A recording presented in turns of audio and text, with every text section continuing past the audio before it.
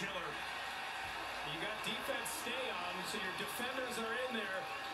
Carl Granderson comes right up the middle. Nobody blocks him, but he's not used to punt blocking. You know, you don't have your special.